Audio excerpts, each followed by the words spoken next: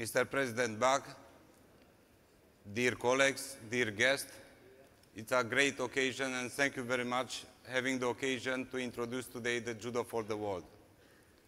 At the beginning, I would uh, mention an idea which could contribute to the development of world sport and as well for the social integration. Today, the world is confronted with a lot of conflicts, instability, social, political, and economical. One of the consequences of this process is the refugee and the migrations. Today are living in the world around 70 million refugees and as well many 10 million workers abroad. All these people changing their destiny and their life, hoping for a better life and a new chance in the life.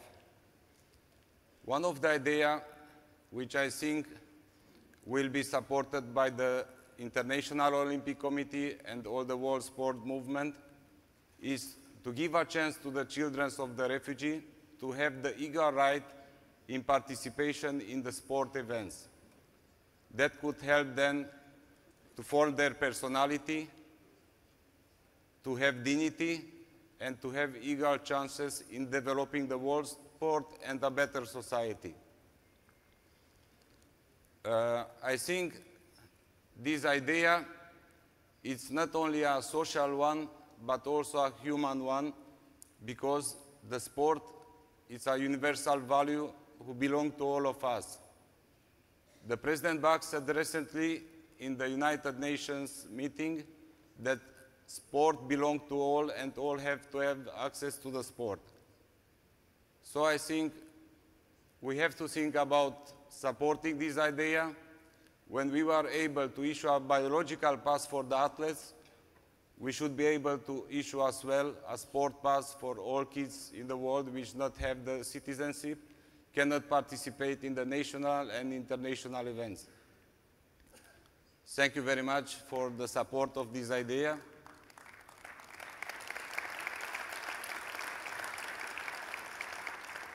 Next, you will see the video Judo for the World and as well the presentation of my colleagues Ruben and Nicolas. Thank you very much. Have a successful Youth Olympic Games. Judo is an Olympic sport practiced by 40 million people in over 200 countries. Shihan Jigoro Kano founded Judo as a structure for mental and physical education. His ultimate vision was to create a better society through the values of the sport.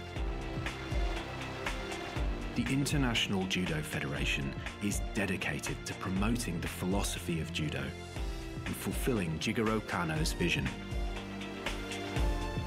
As part of this initiative, the International Judo Federation created a series of commissions and programs to reach out to the judo communities of the world. Judo has the power to educate, shape, and teach people. Judo for Children is a program that works with 5 to 12 year old judokas the aim of the programme is to make judo an integral part of their educational development, instilling values such as honesty, respect and friendship. From refugee camps to areas affected by natural disaster, Judo for Peace is an initiative that spreads the values of judo throughout communities facing hardship. The programme runs worldwide and endeavours to bring peace to areas in conflict, hope to places affected by disaster, and unity to those living in impoverished areas.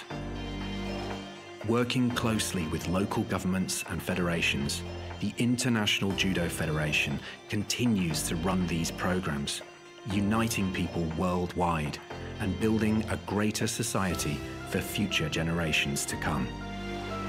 El judo es un deporte que puede ayudar a mucha gente. 柔道は単なるスポーツじゃなくて社会の貢献ができるスポーツだと思います Del judo rescato mucho sentir que uno puede hacer lo que, lo que quiere, ¿no? Y que las barreras se las pone uno.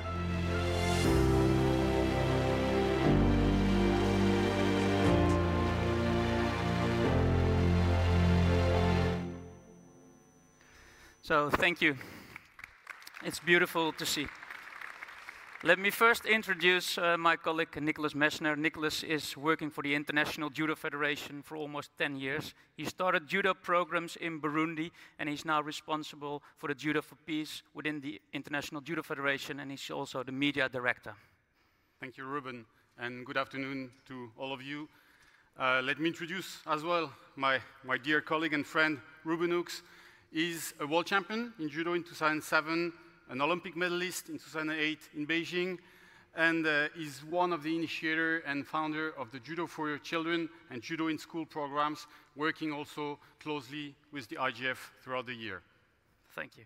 So, um, in my opinion, the founder of judo, Jigoro Kano, as you see him on the big screen, was great ahead of times. He was an educator, he was a teacher, and he was an athlete. He started jiu-jitsu, and later he founded judo as a pedagogical sport. And it's really interesting to see that it was all about the values at that time. It was about educating. It was about the balance between your mind and your body. It was mutual prosperity, as he called it. And for us, that's really interesting. It's also interesting to look at some of his statements and some of his quotes, like, it's not important to be better than someone else, but to be better than yesterday. Or, nothing under the sun is more important than education. By education, by educating one person, and sending him into society of his generation, we make a contribution extending 100 generations to come. And for me, that is beautiful to understand, to see that it was not only about the techniques, it was not only about sport, but because it was about being a champion in life. The International Judo Federation has dedicated itself to spread these values all around the world uh, under the umbrella of Judo for the World, as the President just mentioned. And for us, there are beautiful programs we are implementing all around the world, like Judo for Peace and Judo for Children and Judo in schools. And we're really eager to create a better society through Judo. In all of these programs, in all of these concepts, um, the code morale is upfront. And the code morale, you see it on the screen, are eight values where we believe they are in the DNA of our sport, like courtesy, courage, honesty, honor, modesty, respect, self-control, and friendship. These values form the backbone of our sports and the programs we will talk about. Nico, can you tell me something, can you tell us something about Judo for Peace? Yes, thank you, Ruben. Um, Judo for Peace was a commission of the International Judo Federation founded in 2007 based on concrete and actual projects on the field. It's really concrete operation and it has an impact on local population. With Judo for Peace, we are uh, active and busy in conflict areas. Uh, I will give you an example a little bit later with those kids that you see on the screens from the Kilis region in Turkey. But we are also active in post-conflict areas once the conflict is more or less solved, but there are still a lot of issues going on, uh, on, on the field and in the different territories we're active in. And we are also active with Judo for Peace philosophy and activities in areas with social disorders. So all that together, we are able, through the values of judo that uh, Ruben just mentioned, we are able to try at least to find a beginning of solutions to help those local populations and to have a concrete impact on those populations. The first impact we have is a smile on a kid's face. That's really the, the very first measurable and visible aspect that we can have, but once we have one smile on one kid's face, we already want something. So if I'm talking about those two kids, the, the, main two kids that you see on the picture, that picture was taken in, uh, in the Kilis region, in south of Turkey. That city uh, used to have 40,000 inhabitants, only Turkish people. But because of the conflict in Syria, now the population has tripled or quadrupled. It means that the local population now represent less percentage towards the refugees. So it creates also so, some social conflict or some social issues that needs to be solved and that can be solved through sports and here through judo. So that, uh, the, the little girl, Iram, is Turkish. She used to go to school and to train judo at school only with Turkish friends. And the boy, Kuma, is Syrian. He, he escaped from uh, Aleppo, which was covered by the bombs, and he now lives in the Kilis region in a refugee camp called Container City. those two kids were not meant to meet, to meet each other, were not meant to, to, to play together, but they're now doing it, they're training together, they're having fun, and that's what Judo for Peace is all about. Ruben, now, can, can you tell us also about the Judo for Children and Judo in School program? Yeah, for sure. Um, we strongly believe that every child worldwide should have the chance to get acquainted with Judo and its values, like I mentioned before, the Code Morale. We believe that if children practice Judo for quite some time, they will be stronger in life, they will be champions in life. The International Judo Federation has uh, beautiful programs like Judo for Children and Judo at Schools, where we try to help national federations making sure we support them by organizing these kind of programs. We make sure we help them with the organization, with the communication, with the marketing, but also we try to increase the number of judo trainers in primary schools. We also try to increase the level of the trainers in primary schools. By doing that, we also create jobs, and we're really proud of that. And nowadays, we're active in almost 30 countries, or over 30 countries, with strong and sustainable connections between national federations, governments, local judo clubs, and also local primary schools. And for us, those connections and those strong structures are really important. Nowadays, hundred thousands of kids in thousands of primary schools all around the world practice judo for some, some time. And I'm really proud of that. And I give, can give dozens of beautiful examples all around the world of how we create impact in those lives of children. We can explain something about refugees who we connect in South Africa with South African judo trainers, and we try to educate them to become teachers in primary schools. That's beautiful. But I really want to go to the Netherlands, where I'm from. And during my career as a professional athlete, I wanted to do something back for society. And even in the Netherlands, what is a wealthy country, for me it was strange how we interact with each other. That respect, there's a lack of respect sometimes. We don't listen anymore. We um, forget about all those values we think in this um, audience we think are normal, the Olympic values. So I really wanted to do something with those values. And we created the project, Judo at School project, also in the Netherlands. And we really tried to change all the elements in the project to amplify those values. So we work with enter trainers and not trainers. Enter trainers, for me, is a combination between fun and values. We try to put all the values, as you see, it's now in Dutch, on the kimono. So the kids during the project really are connected to those values. We try to change everything. Um, we also have a connection with the Walt Disney Company, so we can amplify the values, use the storylines for the children, so they really love it and they work with the values in a fun way.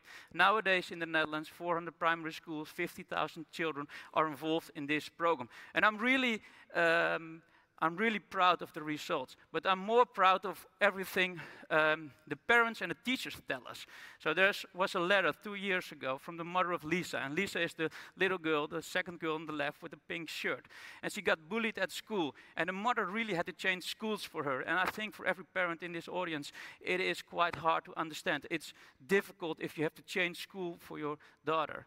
And in the second school she was, the bullying stopped, continued it continued. And her mother wanted Lisa to go to the local judo club, but Lisa didn't want to go to the local judo club. She wanted to do other sports. But fortunately for the mother, the school, the second primary school, had a judo at school program implemented at the school. So Lisa had to do the judo. And after the first lesson, she came home quite relieved, but also excited about that. She loved it. After a few weeks, her mother said, and she was writing me this in this letter, that Lisa became stronger. She knew how to stand up for herself. She knew how to be stronger.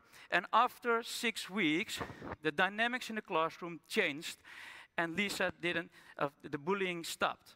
And it's beautiful as a mother sending me a letter that this is the impact we create with the values of judo.